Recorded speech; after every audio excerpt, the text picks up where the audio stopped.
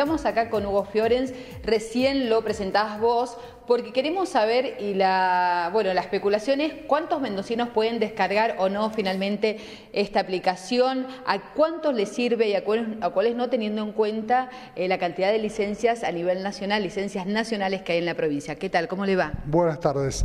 Bueno, cualquier persona que tenga licencia nacional de conducir puede bajar la aplicación para poder tener una licencia digital pero es importante destacar que esta licencia digital no reemplaza al carnet que le llamamos normalmente, ¿no es cierto?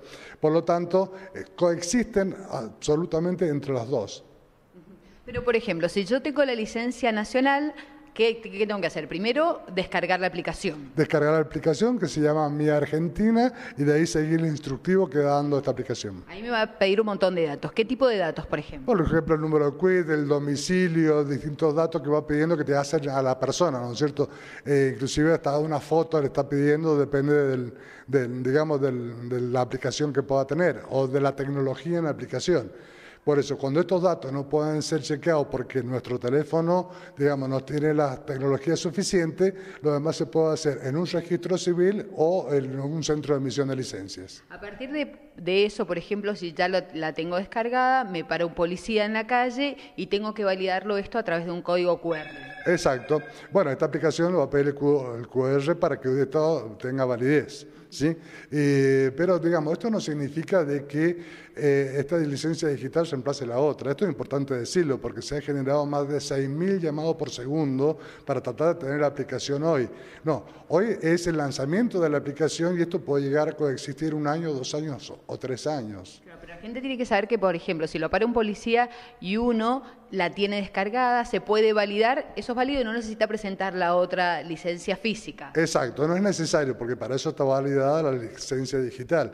Pero a ver, como esto es nuevo, es importante destacar que es importante también llevar la licencia este, impresa junto con nosotros, para evitar este tipo de confusiones ante un preventor o un policía que esté fuera de la zona de servicio que todavía no tenga la posibilidad de poder este, saber, tener conocimiento de esto. Ahora, ¿con qué se va a validar? ¿Con, qué, ¿Con teléfonos? ¿Con qué tipo de equipos? Y todo va a estar válido, o sea, todos los efectivos en toda la provincia que hacen tránsito, que controlen el tránsito, van a tenerlo.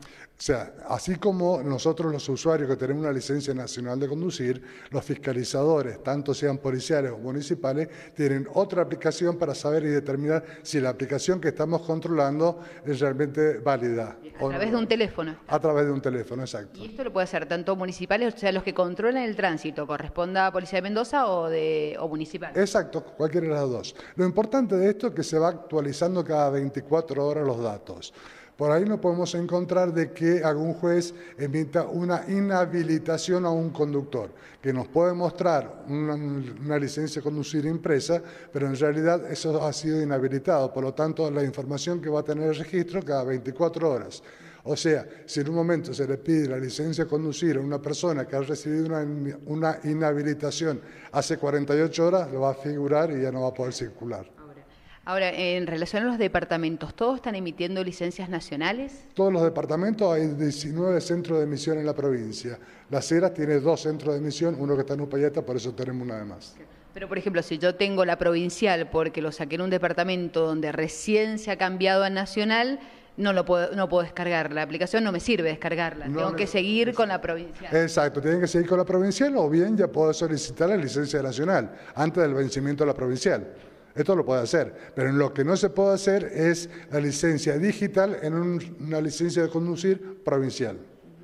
A ver, ¿qué pasa, por ejemplo, si yo tengo una licencia, la tengo descargada y después se me pierde la licencia? ¿Tengo que sacar otra y validar esa otra? ¿Cuánto tiempo me dura? Si no... Bueno, dura permanente, ¿no es cierto? Para eso está la validación de la tarjeta. Lo que la va a invalidar va a ser el sistema informático si ha tenido alguna inhabilitación.